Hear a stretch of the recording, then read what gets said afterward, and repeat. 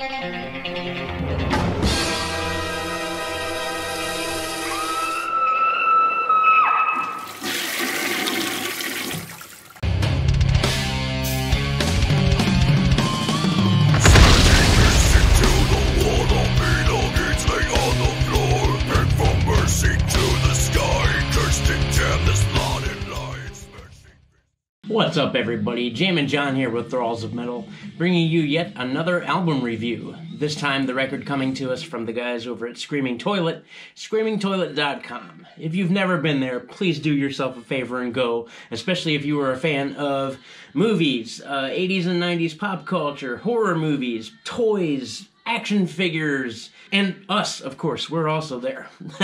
Uh, the record I will be reviewing for you all today is the newest one from the band Thanatopsis with their album Initiation. Came out in 2020 on Extreme Metal Music Records. They are from Oakland, California, formed in 1992. Now, these guys are not to be confused with the six other bands named Thanatopsis. Uh, there's a couple from Germany. Um, they're mostly thrash and or death metal bands, except for one of my favorite Thanatopsis bands, the one with Buckethead and Travis Dickerson, which is what I initially thought this was, but it's not. This is their first full length album. Now, keep in mind, they were initially established in 1992. They had six demos come out between 1992 and 1997 and then an EP in 1995.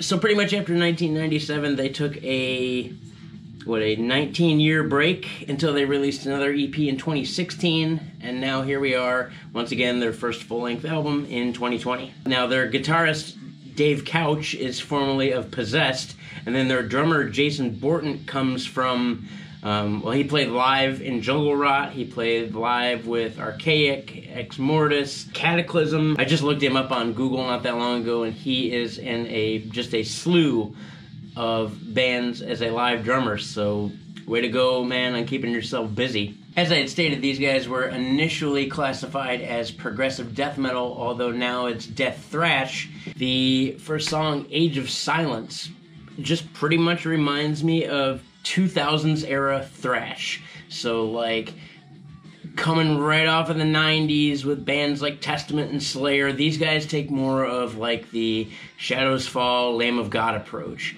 which isn't bad. It's just really straightforward. Like in the song Age of Silence, the, the vocalist has this really straightforward approach and doesn't deviate from that much. The vocalist is super straightforward just sounds like a mixture between Randy Blythe and Jamey Jasta throughout the whole album. There's no real deviation from getting barked at, which is fine. It fits sometimes, like in the song Consequence. That song has a real testament feel to it, um, not as dynamic. The musicianship is solid, nothing flashy, very appropriate for thrash, but the vocals are super dry, and again, they're just barked. Around the 3 minute and 50 second mark of that song, though, there is this super cool little melodic part, and uh, the leads, while they're not plentiful on this album, the lead tone in this sounds like the um, guitar tone used in the Art of Shredding from off of Cowboys from Hell from Pantera. The vocalist in the song Malfaded sounds like Satan from South Park. You know that episode of South Park where Satan throws the Halloween party and he says no one can come dressed up as the crow, but then he comes dressed up as the crow and then ends up yelling at a bunch of people. Anyway, that episode, when Satan yells at people, that's what this guy sounds like in this song. It does have some neat riff work in it. There's this really kind of creepy crawler riff that comes towards the end, and then the bass tone. The bassist is really good, but the tone they used in here sounds like Justin Chancellor's bass line off of Schism. Doesn't really fit, but not bad.